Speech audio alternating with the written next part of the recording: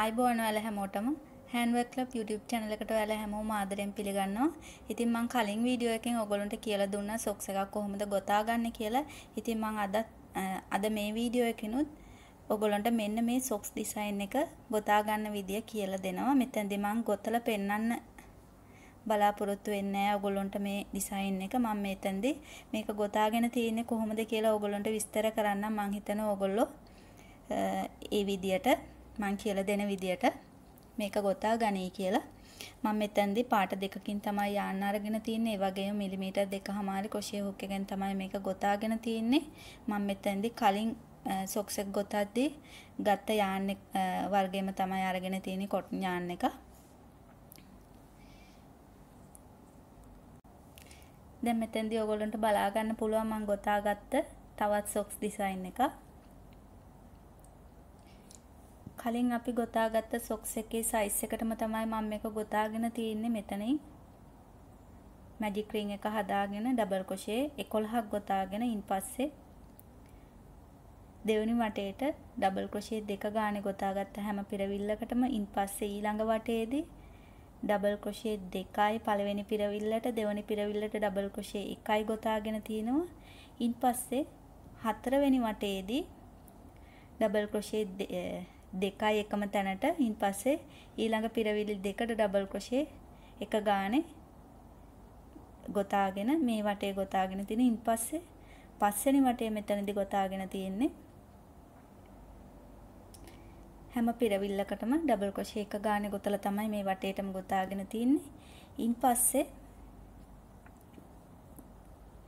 මෙතනින් චේන් තුනක් ගොතාගෙන ඊළඟ වටේ ගොතාගෙනදී මෙතනින් අවසාන කර තැන පිරවිල්ලටම චේන් තුනක් ගොතාගෙන ඉන් පස්සේ නැවතත් ඩබල් කොෂේ එකක් මෙතන ගොතාගෙන තියෙනවා ඩබල් කොෂේ එකක් ගොතාගෙන චේන් එකක් ගොතාගෙන නැවතත් එතෙන්ටම ඩබල් කොෂේ දෙකක් ගොතාගෙන මෙතෙන්දී පිරවිලි තුනක් අතහැරලා හතරවෙනි පිරවිල්ලට තමයි නැවතත් මෙතන වී ස්ටිච් එක කරගෙන තියෙන්නේ. ඒ කියන්නේ ඩබල් ක්‍රොෂේ දෙකයි චේන් එකයි ඩබල් ක්‍රොෂේ දෙකයි තමයි මෙතන ගොතාගෙන තියෙන්නේ.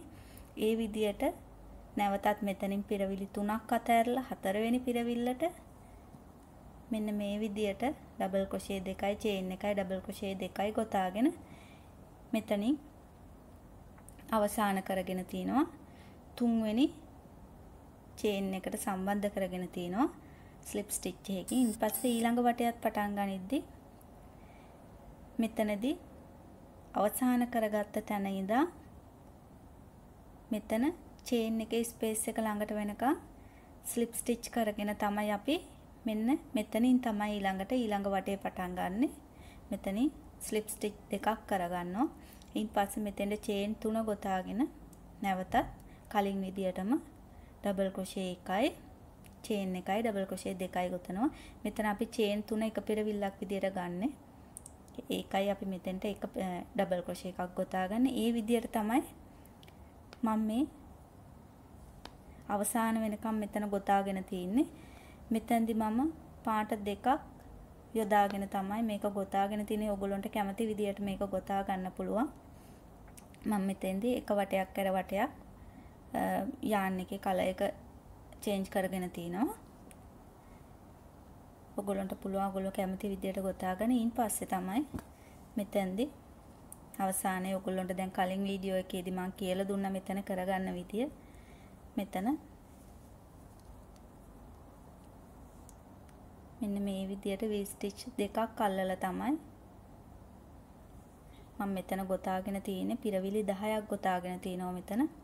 ඒ කියන්නේ මේ අතට තුනක් අතෑරලා මේ අතට තුනක් අතෑරලා මෙතන මැදින් තියෙන දෙකෙන් තමයි මෙතන ගොතාගෙන තියෙන්නේ. ඩබල් ක්‍රොෂේ එක ගානේ මෙතන පිරවිලි 10ක් අල්ලලා ගොතාගෙන තිනවා ඒ විදියට මෙතන වට හතරක් ගොතාගෙන තිනවා.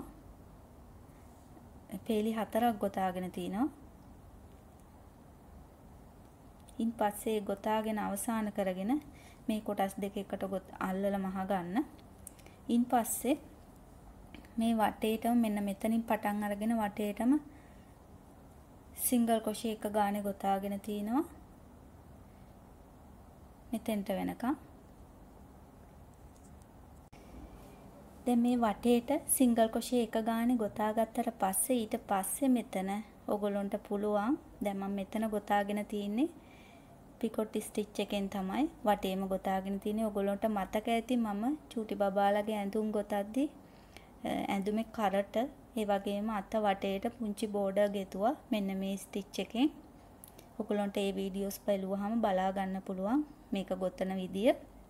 එහෙම නැත්නම් ඔයගොල්ලන්ට පුළුවන් තවත් වටයක් සිංගල් ක්‍රොෂේ වලින්ම ගොතලා මේක අවසන් කරගන්න. ඊපස්සේ මෙතන මම මලක් ගොතලා මෙතෙන්ට තියලා මහගෙන තිනවා. එතෙන්දී ඔයගොල්ලන්ට කැමති විදියට මෙතන ඉස්සරහා ඩිසයින් කරගන්න පුළුවන්. මෙන්න මේ විදියට